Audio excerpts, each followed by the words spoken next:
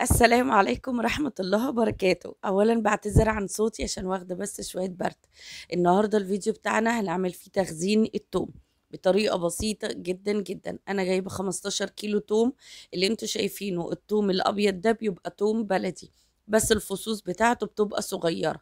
التوم اللي مدي على أحمر بيبقى مهجن شوية بس بيبقى الميزة اللي فيه إن ال- الفصوص بتاعته بتبقى كبيرة شوية.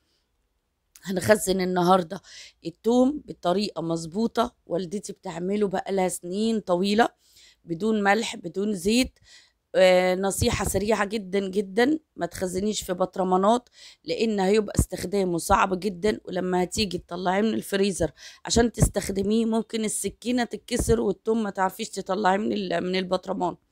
ولو سبتيه يفك شوية هتبص تلاقي بقى لونه اخضر وريحته بقى وحشة جدا ونزل سوائل كده والتوم هيبقى مش حلو ابدا. الطريقة اللي أنا جايبها لكم النهاردة طريقة عملية وإن شاء الله تعجبكم. يلا بينا علشان نشوف الطريقة عملناها إزاي. و please بقى ما تنسوش تعملوا like للفيديو وتشتركوا في القناة وتفعلوا زر الجرس علشان يوصلكم مني كل جديد. وبعتذر مرة تانية عن صوتي. يلا بينا ندخل على الفيديو على طول. بصوا بقى أول حاجة أنا قطعت الروز بتاعة التوم بالطريقة اللي أنتوا شايفينها دي وجمعتها في كيس. اللي أنتوا شايفينه ده طريقة تخزين الليمون هسيب لكم الطريقة بتاعته في صندوق الوصف. بعد كده أنا دلوقتي فصصت التوم كله هاخده على الكبة وهفرمه فرم ناعم كويس جدا. يفضل إن انت ما تعمليهوش فرم ناعم اللي هو بيبقى عامل زي الكريمي كده. ده ما بيبقاش أصلا حلو في الطبيخ نهائي ولا في التتبيلة.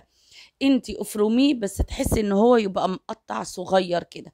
جمعت التوم كله في في في طبق كبير أو في service زي ما أنتوا شايفين بدون زيت بدون ملح بدون أي حاجة. عايزة تثقي في طريقتي جربي في كيس واحد بس وهتعرفي الفرق. اللي هيقولك إن الأكياس التخزين دي التوم بيطلع ريحة في التلاجة أنا عندي ما بيطلعش سوري في الفريزر أنا عندي ما بيطلعش ريحة خالص. دلوقتي أنا جبت التوم وحطيته في الأكياس وهبتدي أبططه كده عايزة السمك بتاعه يبقى رفيع جدا لأن التوم لما بيتجمد بيبقى حجر بينشف جامد جدا. فكل ما الطبقة تبقى رفيعة كل ما تقدري تقطعي منه الحجم اللي انت عايزاه. زي ما أنتوا شايفين أنا عملت أكياس كتيرة ما شاء الله. التانية اللي أنتوا شايفينها دي أنا بقول لكم محدش يتنيه كده لأن بعد ما هينشف مش هتعرفي تستخدميه.